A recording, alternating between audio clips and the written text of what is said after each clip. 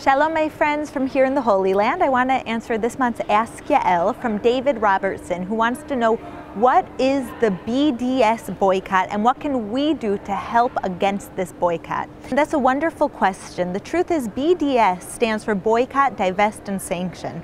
And their aim is to completely ostracize Israel on a everyday human level of citizens. So that it's not governments that are only boycotting Israel and sanctioning Israel and telling Israel what they're doing is wrong, but every single citizen in the entire world has the ability to get their voice heard that they stand against Israel, that they don't like Israel, and that they won't invest one penny into Israel.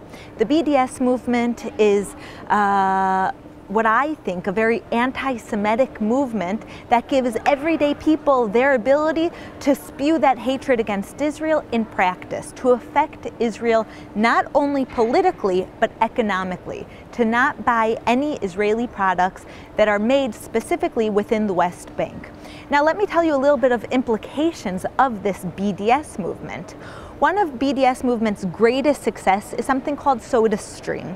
They found out that SodaStream, which is a little uh, device that any person could have at home that turns water into seltzer, uh, it was getting very popular and they found out that the main hub, the place where these SodaStream machines are being produced is inside the West Bank.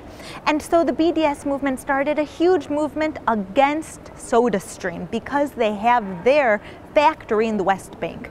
People boycotted SodaStream. They felt it economically very strong to the point that they had to close down their factory in the West Bank and move it to somewhere else. Yet you know what this means on a human level? SodaStream was the largest employer of Palestinians in the world. There were hundreds of Palestinians in the West Bank who relied on that SodaStream uh, factory in order to work and bring home money every day. And because of the BDS boycott, these Palestinians are now out of work because they had to close down their factory.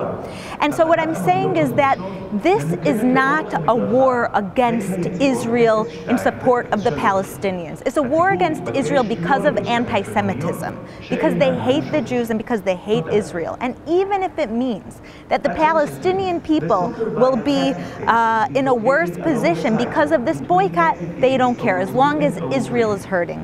What you could do is raise raise your voice for Israel. The fellowship is the opposite of the BDS. We take individual voices that stand with Israel and we bring them collectively, Jews and Christians together, millions of supporters of Israel, to come to the Jewish people and say, You're not alone. There might be BDS across the world, the UN, the EU, the Arab Unions, all the different governments might be against you, Israel, but there are millions of individuals, Christians and Jews, that stand together in your support. God bless you from here in Israel.